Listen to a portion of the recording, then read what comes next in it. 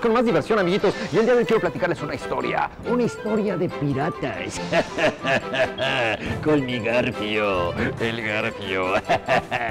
que se convierte en copa de agua. Glu, glu, glu, glu. bueno, la verdad es que está el capitán con su marinero y le dice, ¡Hey, oiga, capitán! Viene una nave. Oh, una nave. Eh, fíjate bien. Oh, oh, vienen dos naves. Ay, son dos naves. No, no, no, son tres naves. Tres naves. Eh, dice el capitán, una flota. Todas flotan, capitán, todas flotan. y así estábamos el día de... ¿Qué es esto? Eh, Oiga, señor, estoy contando una historia de piratas, por favor, no me interrumpa.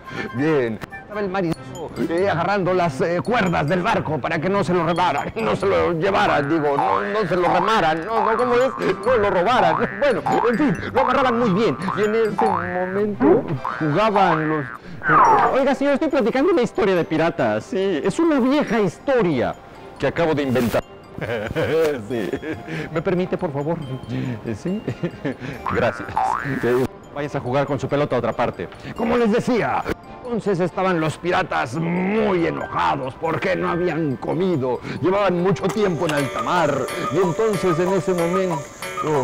eh, ¡Ah, pero sí es Nopo! ¡Nopo, el mimo! ¡Nopo, eres el mimo de siempre! ¡Qué gusto saludarte! Oye. Ah, hazme un mimo. Eh, sí, sí, un mimo, un mimo. ¿Cómo es? Ay, ándale, ándale, ¿quién me quita? ¡Ya!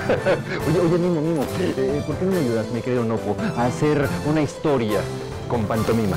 Bueno, vamos a llegar la historia, si hace hambre. Es una vieja historia que acabamos de inventar.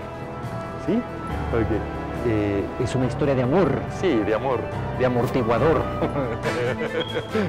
Resulta que iba el barco, eh, entonces el alta mar, eh, se empezaban a marear.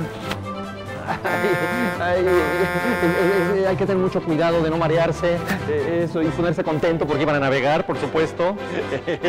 iban a descubrir un tesoro, eso, un tesoro, y se iban a llevar todo para repartirlo y que les fuera muy bien.